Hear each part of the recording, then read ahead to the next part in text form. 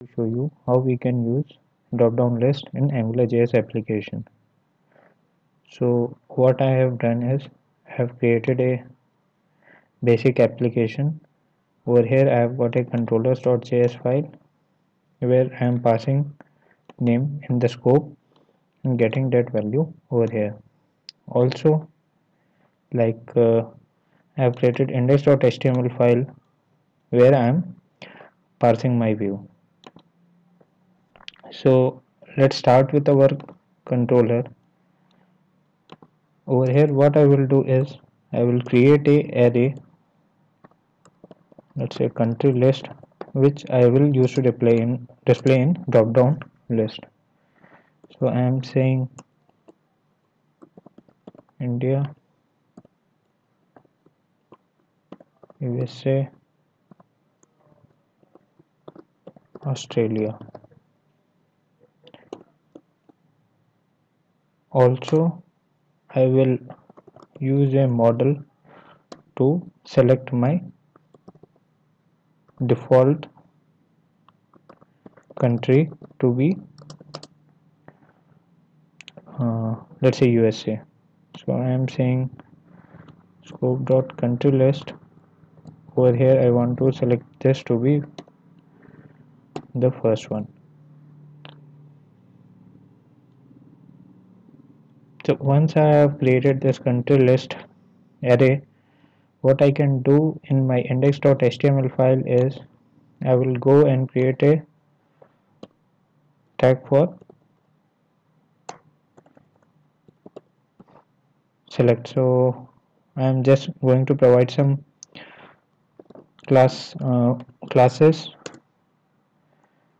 So I have created a form group. After that I am going to create a select name is equal to country. Id is also going to be country.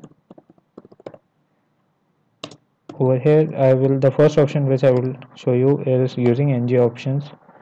So uh, over here I will say c for c in country list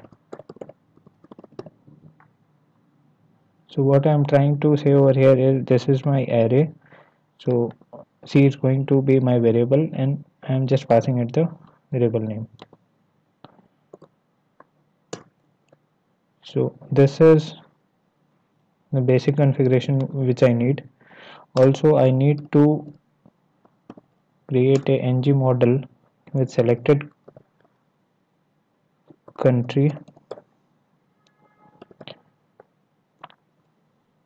as my variable name so that I can populate the default values. So once I have done this then I can go to my browser and refresh it. So over here what we are seeing is like it is coming as empty. So let's try to investigate what exactly is the problem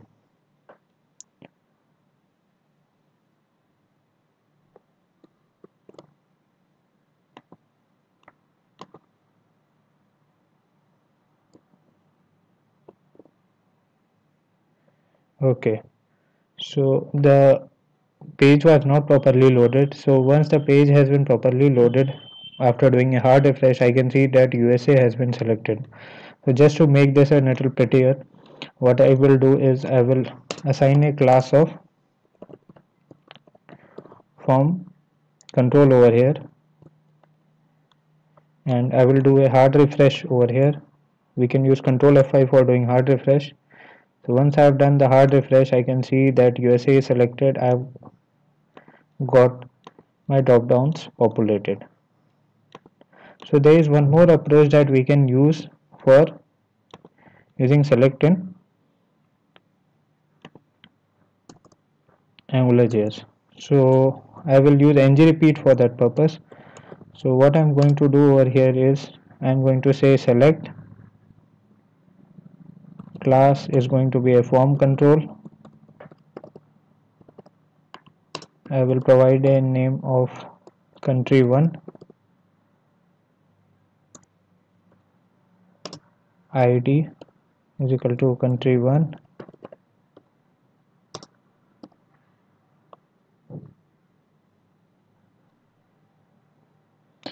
over here I will say ng model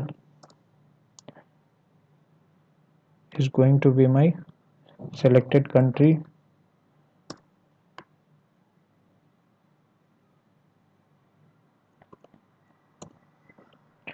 So uh, inside that what I will do is I will create a option tag and use my ng repeat directive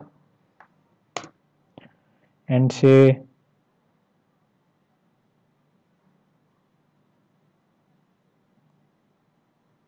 c in country list.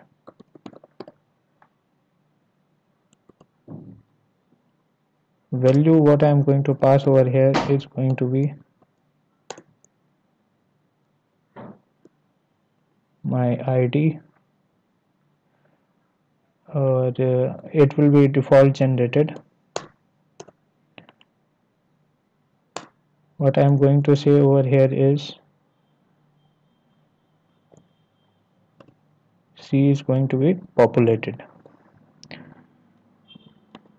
So once I do a hard refresh I'm able to see that my second drop down list is also populated with some values.